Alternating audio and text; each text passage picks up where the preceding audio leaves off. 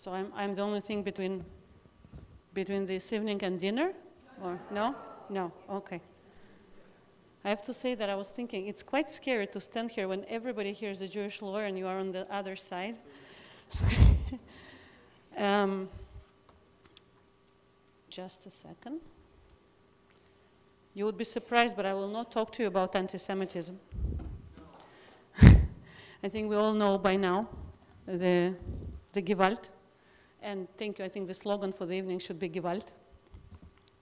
Um, thank you for being here. I'm very honored and I'm very happy that we can host you here. I think there's no better place on earth to host a session of Jewish Lawyers and Jurists than the Museum of the Jewish People. By the way, it may, it may not look like that, but we actually are also part of the fight of the anti-Semitism. We just do it in a way that we know how to do. In uh, next year, 2020, we're going to open a new museum. I think you had a chance to visit some of our exhibits. That's a small part of what is going to be here. We're going to open three sides of that. Humor was good, right? You need a humor. I mean, for that kind of that level of anti-Semitism, you need a lot of humor.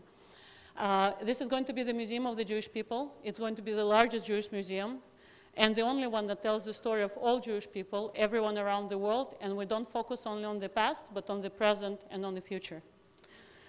And we do it because we believe that we want to make sure that every young person feel that they're part of something meaningful and bigger, and that they feel strong and they are united. Because we all know, in the moments of crisis especially, one thing that makes us stronger is to feel that we are part of something, right? And as Jewish people, that's, that's the, I think, the thing that made us who we are.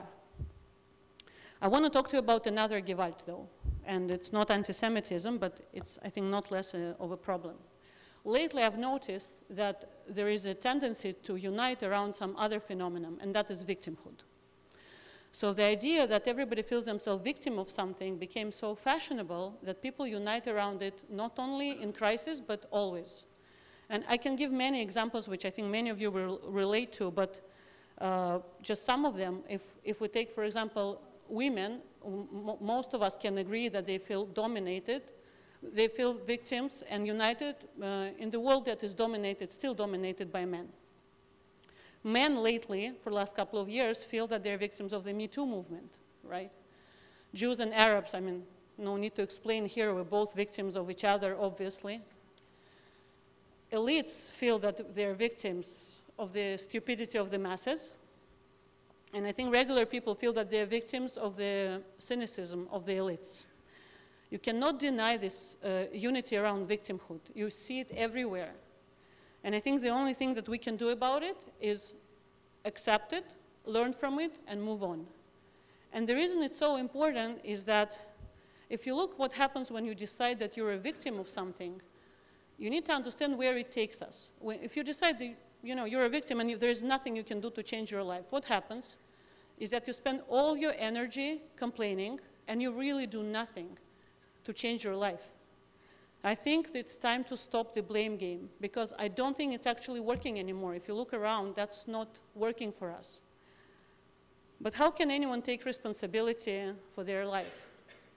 In order to do that, you need to answer some of the questions, tough questions. I think the questions you need to answer is who you are and where you belong. Now, my story in short is I'm born Jewish, I'm a minority, born in a very anti-Semitic country, nothing of what I heard here is surprising for me. The fact that it's coming back is surprising and unfortunate, but I'm used to living around people whose DNA is being anti-Semitic and jealous. I'm Israeli now, so I was born minority, now I'm a majority. I was an immigrant three times. And that means that the issues of identity and belonging, about who I am and where I belong, are issues that I contemplate about every day. It's just the nature of who I am. And, you know, I wouldn't be uh, running this museum if it wasn't the topic, right? So the topic of identity and belonging, I think that's the biggest crisis that we face in the world now. Because in the 21st century, with all the changes and with all the globalization and all the openness and mobility, I think not being able to answer yourself a question who you, who you are and where you belong is what makes the world so scary, is what makes us all, you know, the hatred rise, the populism rise. So I'll just share with you, I'm very excited because this year I decided to take it to the next level, my passion for identity and belonging, and I wrote a book about it. And the book is called The Impact of Identity, The Power of Knowing Who You Are. So I really hope that you'll be able to, to read it. It's, about, it's not about my experience only, it's about the experience.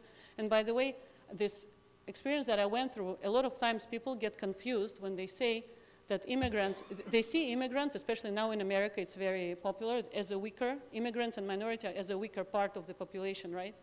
But if you look at our people around the world, and if I look at this room, I think that challenges that we went through made us so strong and so united and gave us also an ability to choose to have meaningful life only if we choose to. So I'm sure all of you have similar experiences coming from all around the world and people who were born in Israel but only second, third generation. So I'm very honored that you are here. Again, I think I'm, I'm grateful to Irit for making it happen here. I told you that will be the best place. I'm sure you'll have a wonderful experience. And I really hope to, that you have a wonderful conference and to hear from you if you have a chance to read my book. Thank you.